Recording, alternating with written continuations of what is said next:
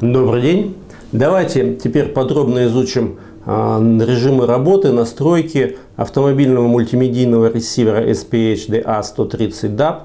А, перед нами сейчас основной экран, с которым будут работать пользователи. А, к ресиверу у нас подключен смартфон, система Android, подключен у нас по проводному соединению, как вы видите. И Bluetooth соединение у нас сейчас отключено, но можно будет при необходимости его подключить. Но Bluetooth соединение тут э, никаких особенностей нет, стандартный режим работы. Отключили мы его просто, чтобы э, у нас для того, чтобы фиксировать звук, который идет со смартфона, поскольку у нас сейчас отключены колонки, не подключены непосредственно к ресиверу. Когда вы подключаете смартфон, то, соответственно, к, к основному меню у вас появляется еще дополнительное э, меню смартфона. А, приложение App Radio Mode – это основное приложение, которое обеспечивает взаимодействие между, соответственно, ресивером и смартфоном. А, его функционал невысокий, у него есть контакты, у него есть календарь, у него есть возможность просмотра фотоснимков, которые находятся на смартфоне. А, но самое главное, что он позволяет инсталлировать приложения, которые могут работать вместе с ним, и, соответственно, дальше потом идет, уже открываются возможности приложений. В данном случае приложение от Пионера App Radio Live – это основное приложение, которое, с которым предлагается работать. Оно совместимо как с Radio Mode, так и с, с данными ресиверами. Там есть навигация на основе карт Google Map – ну и, соответственно, дополнительно еще предлагается на выбор три навигационные программы. Это российский Navitel, а, программа Navmi и а, программа Sigis. Ну, четыре приложения, в каждом из них есть навигация, но самое общее это, естественно, там App Radio Live. Как раз если мы нажмем теперь на него, то у нас произойдет переход в это приложение, нам предлагается войти в аккаунт, но на самом деле даже если аккаунта нет, то происходит автоматический переход на режим работы. Сейчас у нас э, включена такая функция, как радиономи, но мы сейчас выйдем из нее и сначала зайдем э, в основное меню. Основное меню приложения, вот оно сейчас на экране, и это, здесь э, располагаются основные функции. Первая функция, самая главная, это Э, навигация, поскольку все-таки у нас магнитолы, желательно, и нам нужно как раз нужно вот это соединение, прежде всего, для навигации. Здесь, соответственно, у нас Google карты. Google карты позволяют э, производить поиск, навигацию. Происходит, как мы видим, взаимное отображение карт, взаимное управление. Мы можем карту подвинуть, пользуясь монитором можем задать поиск, то есть полнофункциональное устройство, можем изменить масштаб, то есть все, что мы привыкли с вами э, в обычной навигации. Дальше есть, есть возможность вызова специального приложения, которое обеспечивает информацию от э, сервисов погоды. Вот у нас сейчас прогноз погоды на ближайшие несколько дней, 20, 21, 22, 23 ноября. Наступает зима, становится холодно, минусовая температура. Так, э, есть календарь ну, соответственно, календарь нам, для того, чтобы полнофункционально использовать календарь, нам необходимо воспользоваться все-таки подключить аккаунт, уже через этот аккаунт производить синхронизацию с другими календарями. Но самое интересное, это у нас вот эта вот закладочка. Здесь у нас как раз мультимедийные возможности системы. Это прослушивание музыкальных композиций, которые находятся на смартфоне, прослушивание, просмотр видеокомпозиций, которые располагаются тоже на смартфоне. Сейчас у нас пойдет некое вот воспроизведение, это что-то у меня там валялось на WhatsApp, присылали, вот ролики начали воспроизводиться. У нас утро 1 января отображается, да? Замечательно. До 1 января еще далеко, но можно всех поздравить с Новым годом. Но самое интересное здесь, я бы на самом деле обратил внимание на вот эти два приложения. Это интернет-радио, то есть здесь мы можем зайти, а, найти интересующее нас интернет-радио, включить композицию и, и начинается воспроизведение. И Э, другое – это стриминговое видео, как раз то, чего обычно не хватало в других системах, это возможность воспроизводить видео с сети, и, соответственно, для того, чтобы оно воспроизвелось непосредственно на магнитоле. А, как, если там посмотреть, то это воспроизводит стриминговое видео как раз с YouTube. И здесь можно настроить интересующий канал и, соответственно, просматривать его во время поездки. Нужно помнить, что функции будут ограничены, и ряд функций во время движения будет недоступен. Необходимо обманывать магнитолу и подключать э, контроль паркинга Э, блокировать для того, чтобы была возможность воспроизведения, например, видео на устройстве. Э, так что, так, это я не туда вышел. По большому счету это уже полноценное приложение, которое многофункциональное, в нем есть то, чего не хватало, интернет-функции э, просмотра непосредственно сети, то есть ну, уже есть чем работать, хорошее, хороший функционал. Для того, чтобы выйти. Да, кстати, вот здесь вот, вот здесь в приложении, если вы установите дополнительные навигационные программы, то они будут отображаться здесь в приложении, а также будут отображаться вот э, при вызове функции смартфон. Соответственно, они здесь, здесь иконки тоже появятся. Ну, давайте сейчас бегло пробежимся по основному функционалу. Как я уже сказал, DAB, э, цифровое радио у нас не работает, сигнала нету. Э, обычное FM радио более-менее стандартное. 3 FM диапазона, диапазон МВ, а настройки пресетов находятся с этой стороны, режим поиска, цифровой частотметр, возможность вызова а, настроек эквалайзера, возможность вызова настроек непосредственно э, устройства. Кнопочка радио. Сейчас мы не подключены по Bluetooth, но можно подключиться, тогда она становится активным, и мы сможем зайти сразу же в книгу контактов. Дальше Bluetooth, но тут тоже все более-менее стандартно, обычный плеер. Кстати, здесь Bluetooth 4.1, хорошо соединяется, быстро, нет никаких проблем. Так, э, Spotify у нас будет работать только для системы iOS и, соответственно, только в Европе. iPod необходимо подключать, USB у нас сейчас не подключен и AUX э, тоже не подключен. Ну, давайте закончим с, этим, э, с этими возможностями зайдем в меню. И первое, на что хотелось бы обратить внимание, на вот эту звездочку. Здесь сейчас у нас собираются, здесь можно собрать ваше меню, как бы собственное, сделать избранное меню, поставить те пункты, которые для вас важны, которые вы хотите быстро перенастраивать. Делается это очень просто. Когда вы заходите в какой-то из пункт меню, видите, здесь горит звездочка. Если на нее нажать, и она засветится, то означает, что вот этот пункт меню был перенесен вот э, в избранное. То есть, видите, у нас тон сигнала э, появился. Что здесь интересного? Ну, интересно у нас, э, вот интересно у нас является установки АВ-источника. И первое, самое интересное, это настройки Mixstar. Кто не знаком с э, сервисом Mixstar от Пионера, э, познакомьтесь, зайдите в магазин, посмотрите, как он работает. Это такой, он позволяет, сервис позволяет, функция позволяет делать микс из записей, находящихся на USB карточки, то есть вы подключаете USB, здесь возможно режим короткого воспроизведения, то есть у вас из всей композиции производится, воспроизводится либо 60, либо 90, либо там максимум до 180 секунд. При этом возможно также случайное воспроизведение, когда у вас композиции по-разному будут э, воспроизводиться. Одновременно с этим будут происходить мигание экрана, будут визуальные эффекты на дисплее. Эти эффекты э, можно у нас настроить. Изгиб, эхо, петля, как вы видите, вот здесь вот они очень достаточно много таких диджейских эффектов. Плюс у вас есть режимы мигания, которые тоже зависит, по-разному могут зависеть от громкости, могут зависеть от уровня э, низких частот, могут зависеть от вокала. Ну, такая интересная диджейская функция, я думаю, что молодежи понравится. Конечно, взрослому поколению будет все равно, но вот я думаю, для молодежного поколения будет отлично. Так, параметры радио, ну здесь более-менее все стандартно, можно изменить шаг, можно настроить э, настройки по РДС, то есть включение альтернативных частот, э, локальных радиостанций, э, параметры DAP нам, в принципе, не интересно, они у нас не работают, Bluetooth аудио включено, Spotify включено, в принципе, можно выключить, так как у нас тоже не работает. Дальше, дальше в системных настройках тон сигнала. Ну, это тон сигнала, это подтверждение нажатия на кнопку, то есть дотрагивания до экрана тональным сигналом.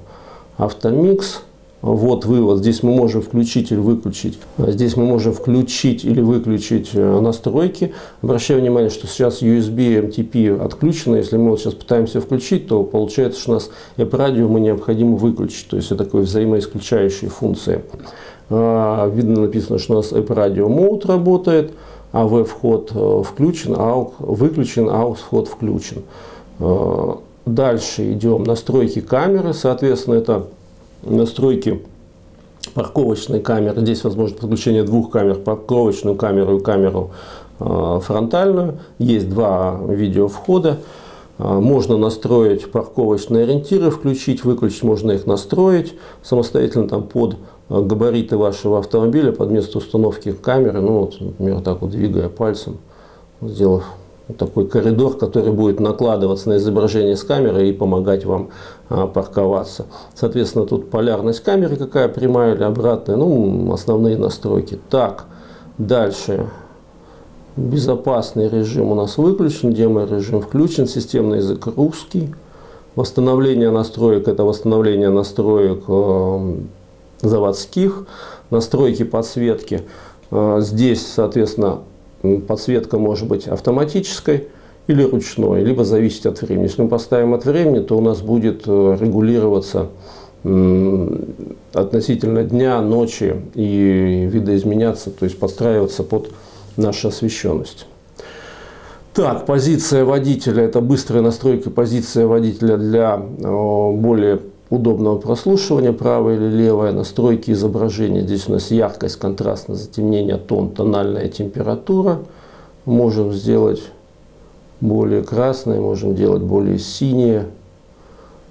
То есть приличное количество настроек, системная информация, данные об устройстве. А, здесь же, кстати, можно включить или выключить возможность обновления оборудования. То есть обновить программное обеспечение, скачав его непосредственно с сайта. Иконка с палитрой – это у нас иконка настройки изображения, то есть мы можем изменить фон, который у нас располагается на, э, на котором располагаются иконки. Можем изменить тему, изменив его цветовую характеристику, можем изменить цвет подсветки зоны кнопок.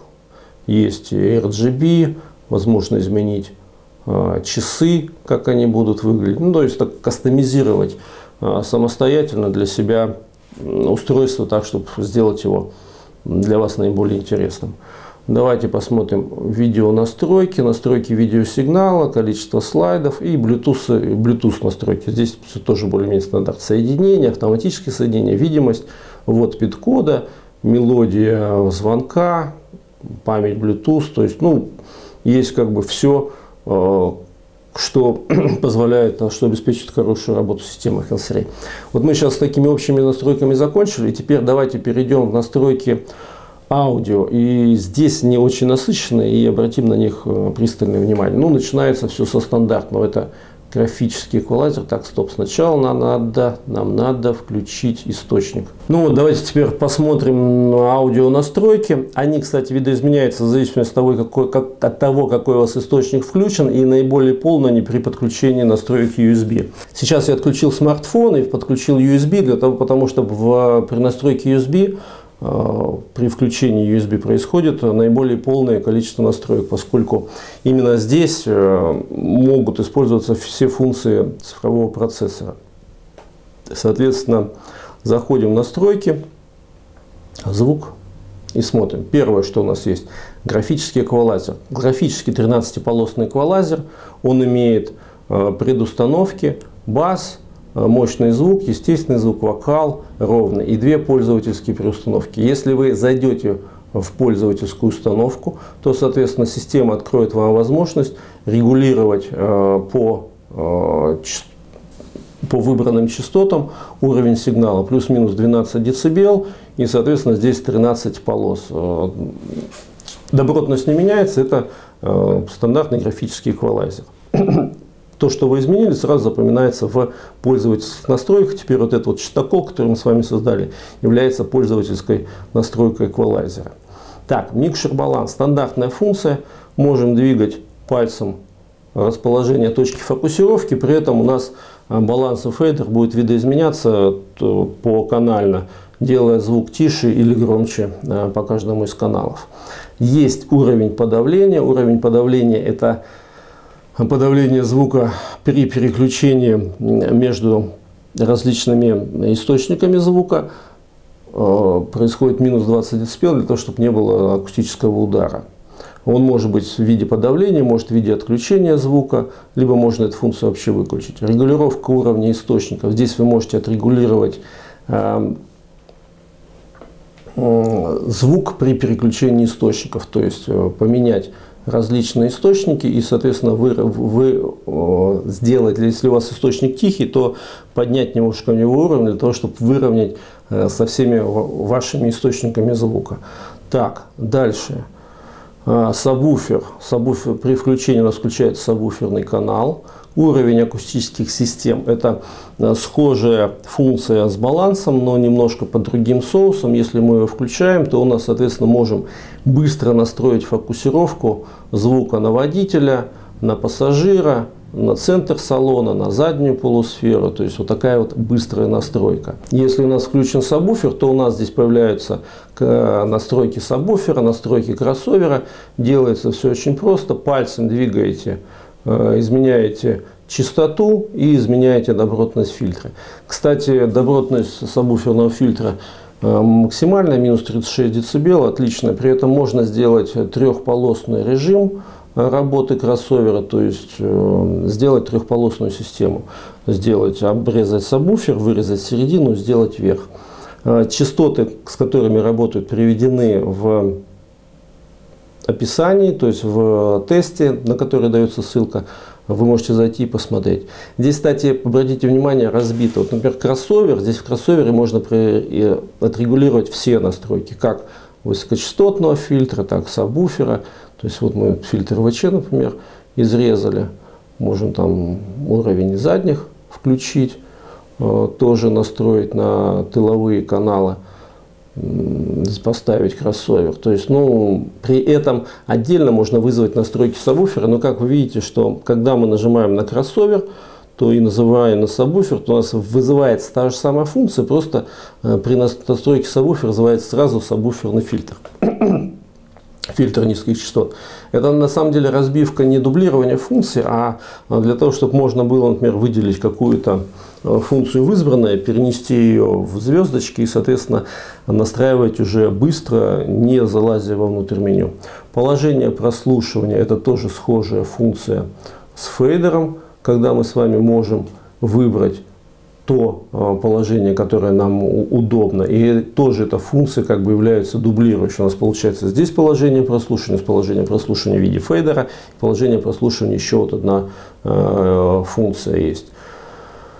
Так, сейчас у нас выбор места выключено. И вот у нас еще самое интересное. Это звуковые задержки. Если мы теперь их включим, то обратите внимание, здесь у нас сразу же выскакивают звуковые задержки, позволяющие именно э, задержками, а не уровнем сигнала подрегулировать звучание и сфокусировать его на водителе, на пассажире, на задних пассажирах. Причем, э, заметьте, задержки все видоизменяются и по всем, по всем пяти каналам происходит. Не только по фронтальным тылам, также сабвуферный канал у нас тоже регулируется. Самое интересное, то, о чем, на что мы обращали внимание, это автоматический эквалайзер. Сейчас автоматический эквалайзер у нас не активирован, поскольку необходимо включить AUX-вход. Но если мы включим и подключим микрофон, то у нас возникнет возможность произвести автоматическое измерение настройку эквалайзера, автоматическое измерение настройку э, задержек.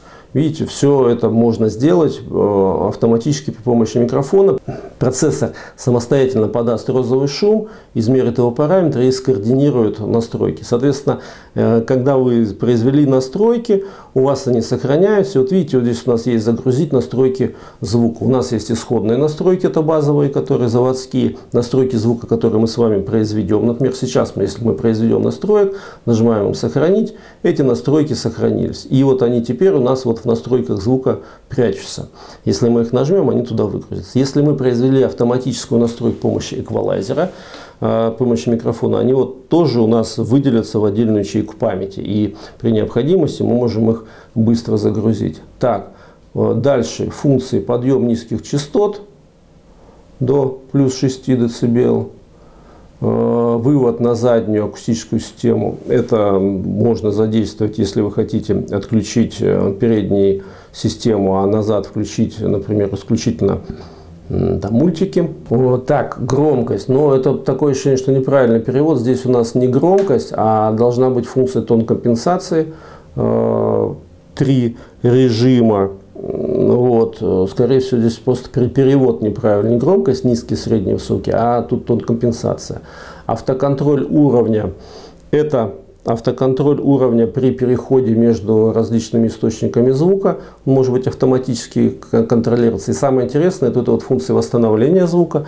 Если вы пользуетесь э, флешкой, его необходимо включить хотя бы на режим 1. Режим 1 э, хорошо работает для, при низком битрейте записи, а режим 2 хорошо работает при высоком битрейте записи. Я сейчас постарался подробно рассказать об всех настройках автомобильного мультимедийного ресивера Pioneer SPH DA130 DAB. Аппарат очень интересный, аппарат э, позволяет регулировать очень много функций. Кстати, я сейчас, посмотрите, у нас воспроизведение с USB, я включил функцию Mitrax, у нас началось некое мигание, видите, э, которое позволяет оживить э, картинку на магнитоле. Начинает мигать, по, мигать подсветка, начинает мигать фон. Но нужно отметить, что у нас сейчас работает аудиокнига, и когда будет включена запись, тем более динамично, это все будет Э, более активно, более активно и более красочно. Так что аппарат интересный, обращайте на него внимание. Читайте подробный тест на наших электронных страницах www.autodela.ru. Э, будьте с нами, подписывайтесь на наш канал, ставьте лайки. Спасибо за внимание.